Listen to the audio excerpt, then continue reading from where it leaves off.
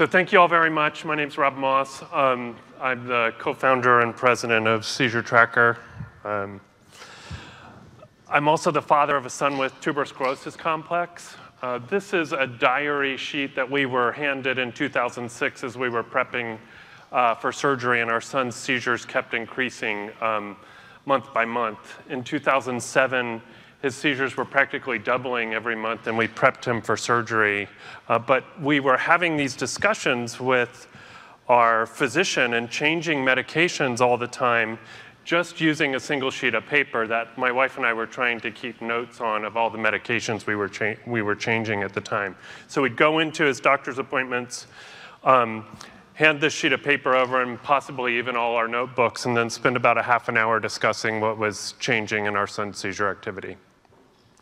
So this is where we're at in 2022, um, uh, where we should be able to collect data electronically and then visualize it in a way that's standardized, that we can go in and have that 30-minute conversation in five minutes, and then spend more time talking about therapies that might um, uh, be more effective. So Seizure Tracker was launched in 2007. We have over 32,000 global users, and um, over 3 million events logged. It's the largest database of patient-reported outcomes in the world. Um, and it was built for my son initially. So um, the idea here was that we want to empower ourselves as initially as a, us as a family, but then as the community to collect uh, more accurate data and then communicate that data in a, in a better way.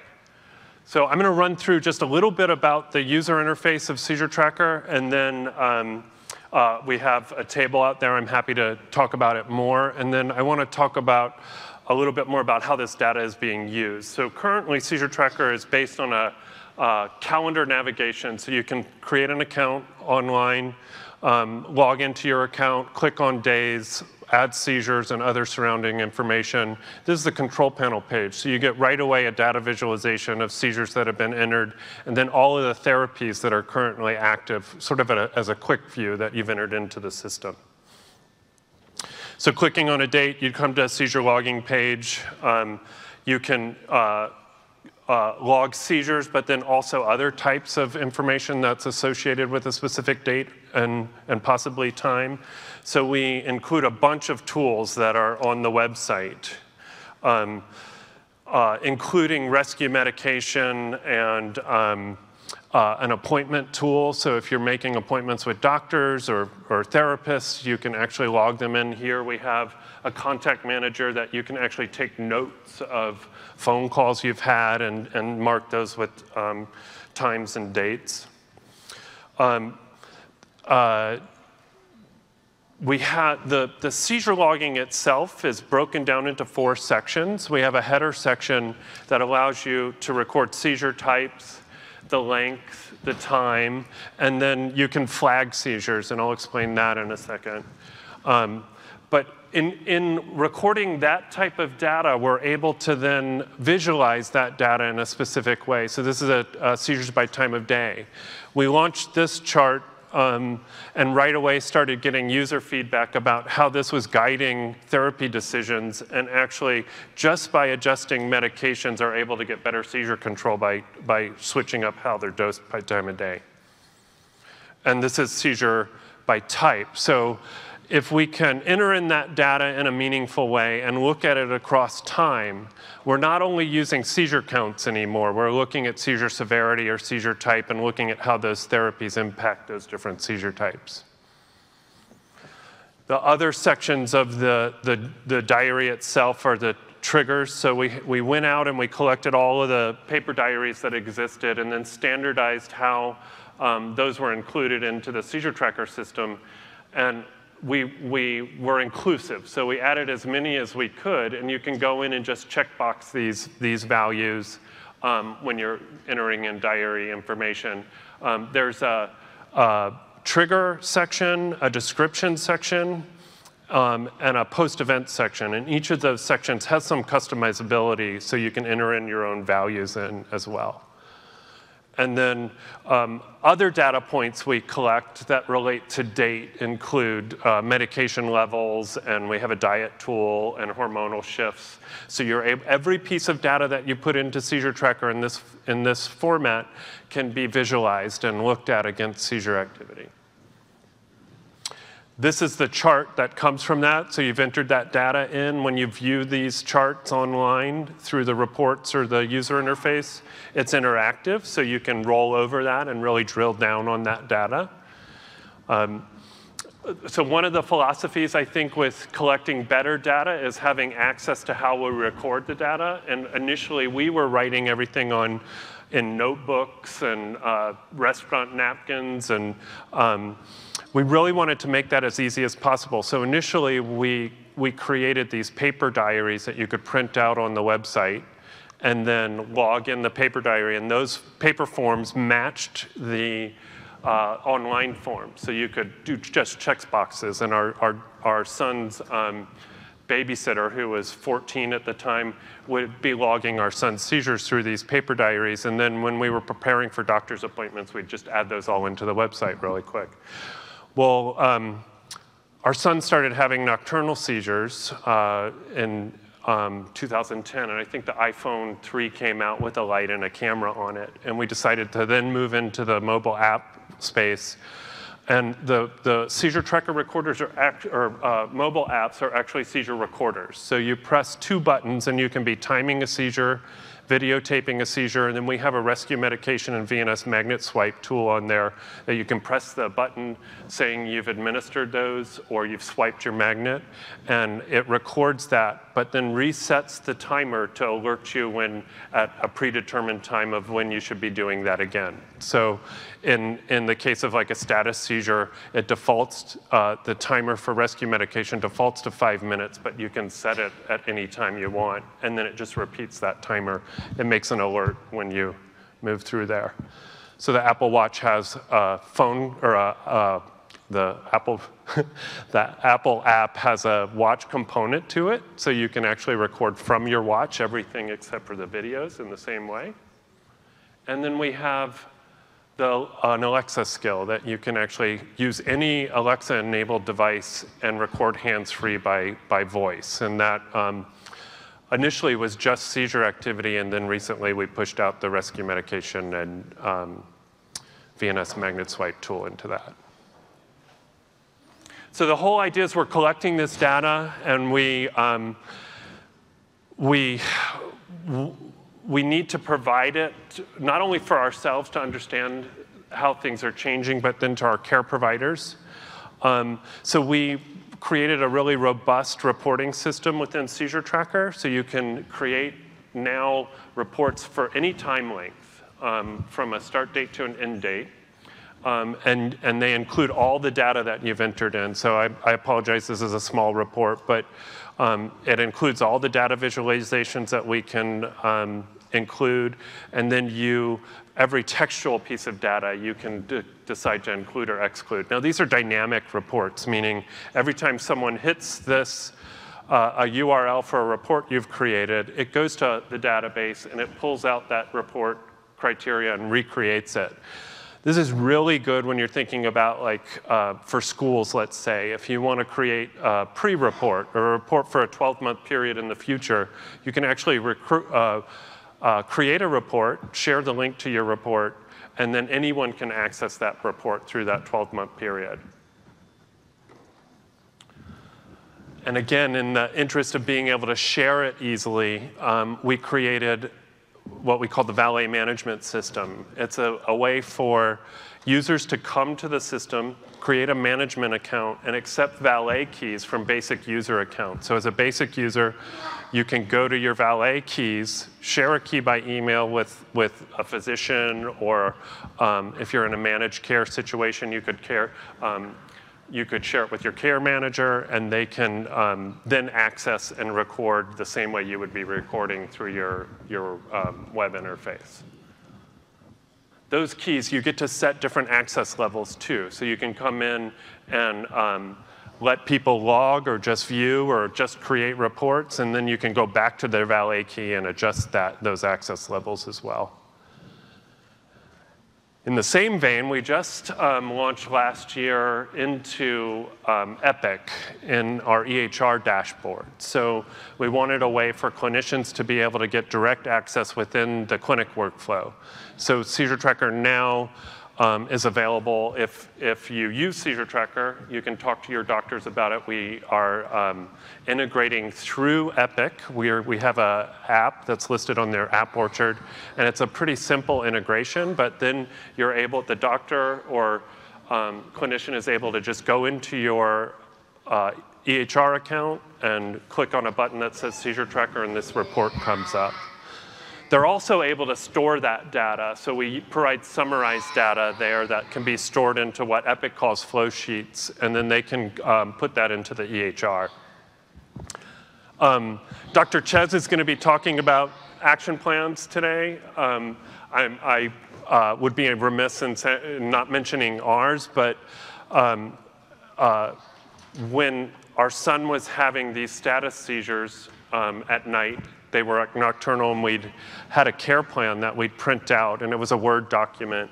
And we'd administer rescue medication, and then we'd run and get the care plan, and we'd lay the, the syringe that we used to administer the rescue medication and the care plan right next to him. If we administered a second rescue medication, we'd be calling 911 at the same time. It's a really good way to communicate the needs that you've talked about with your physicians prior to an emergency happening. So um, uh, I encourage everyone to be creating action plans and really thinking about preparing for those emergencies prior to them happening. Seizure Tracker pre-populates our action plan, so data you enter into Seizure Tracker also populates into the action plan. It's also dynamic, so you can um, view it on your phone or uh, print a PDF of it at any time from the website. In 2014, um, we were, the years previous to that, we were getting asked a lot about doing research. Um, and uh, we'd go to professional conferences and everyone would, who knew about the size of our data set would ask if we would do research. And we really hesitated on um, using the data set for research because our, our goal and our mission is really to improve that communication set between patients and care providers. So uh, being asked over and over again, finally in 2014, we put a survey out to our population and asked um, what their feelings were about uh, participating in research and 98% of them said they wanted us to share their data if it was de-identified.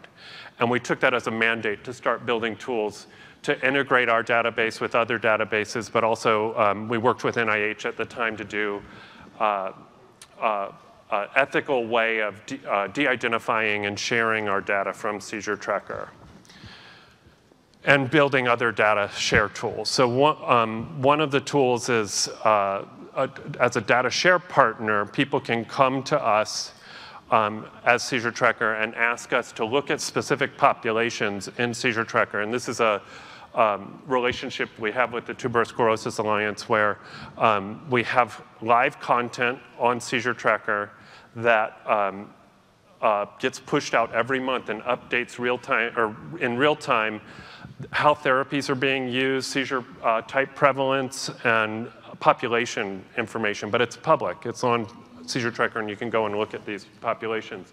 We, um, uh, Dr. Porter has mentioned, and I think Kelly Knupp mentioned, uh, the natural history database will, uh, see, um, the Tuberous Sclerosis Alliance also has a natural history database, and we link seizure tracker data directly into that natural history database and promote their study through this, this interface. Um, working with industry as well, um, we have a way that people can link directly to our database and exchange data in real time. We have APIs um, that, that are basically rules for interacting with our database. And an example of that in an industry partnership is uh, with NeuroPace. So this is um, uh, the responsive neurostimulator. They uh, are able to invite um, people with RNS uh, to share their seizure tracker data into the NeuroPace or RNS database. And then they feed that data back and overlay it against the RNS uh, intracranial EEG data. So again, like you're playing an active role in helping understand the differences between what are actionable seizures or clinical seizures and intracranial EEG seizures, and then complementing that uh, discussion with your physicians. I mentioned the de-identified data export. So um, it's been exciting once we, we uh, took that initiative to start uh, using the seizure tracker data uh, for research um, what the interest has been. So we talk a lot about seizure detection devices. There's been a lot of work in the community to understand seizure cycling um, and how seizures could be predictive, or you could, there's a predictive nature to seizures in some people, and there's been a lot of studies about, and, and being able to identify those cycles um, with intracranial EEG data, but also less invasive data like seizure diaries. So we've been working with groups um, internationally to look at that and can we use diary data for uh, forecasting seizure risk.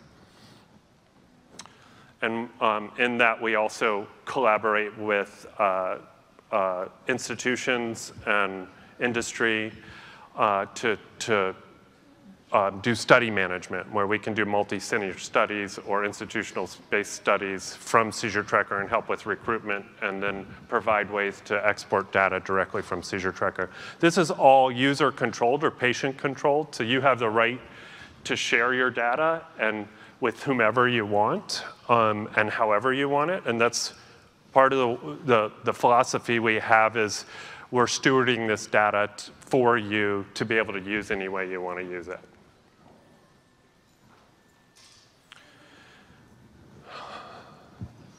So um, one of the things we notice personally as a family is that we don't measure success in therapies by just seizure counts.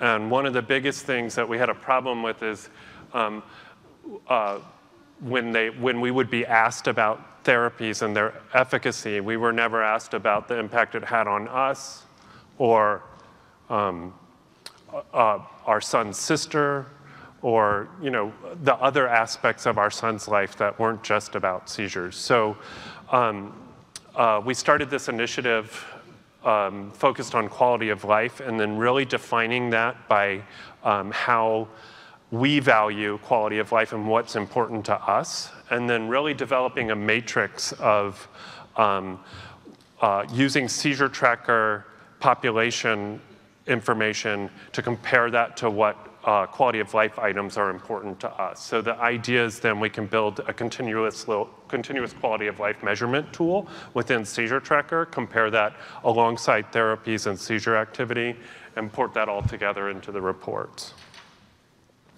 Um, the, the Seizure Tracker data is unique in, in that we collect timestamps and dates um, and typically lengths of seizures. So there's three data points that allow us to evaluate data differently than, than what is commonly done with just seizure counts.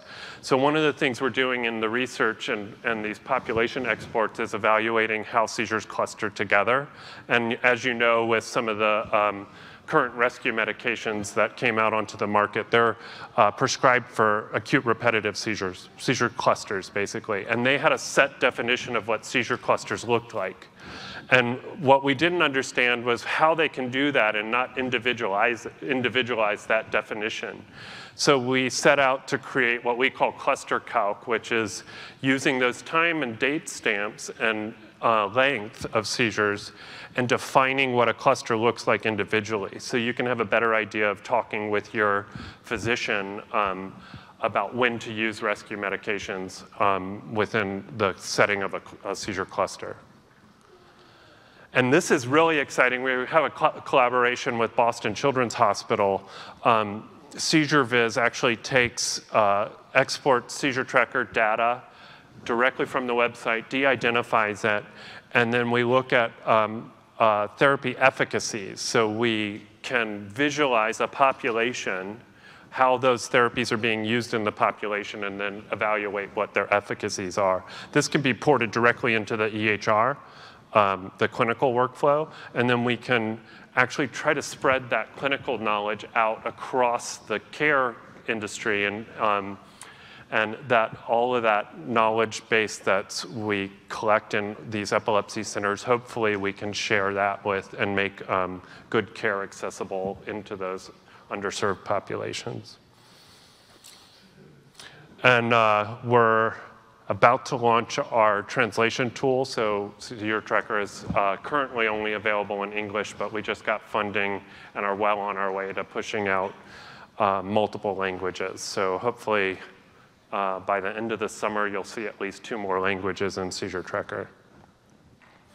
This is my son, he's 18. This is his dog, uh, Mindy. I was um, kind of excited to listen to Charles's talk when we were going out to raise funding for Mindy. Um, my wife and I went out and we bought our running outfits and we were going to do a 5K run fundraiser to raise money. And um, we got about halfway up the block and decided that was not the way we were going to raise money. So I don't know how you do a marathon, but um, so, so uh, thank you all very much. It's an honor to be able to talk here. It's an honor to be able to, um, to listen to the stories and be a part of uh, an environment that empowers us to change. And um, thank you very much. I'll answer any questions.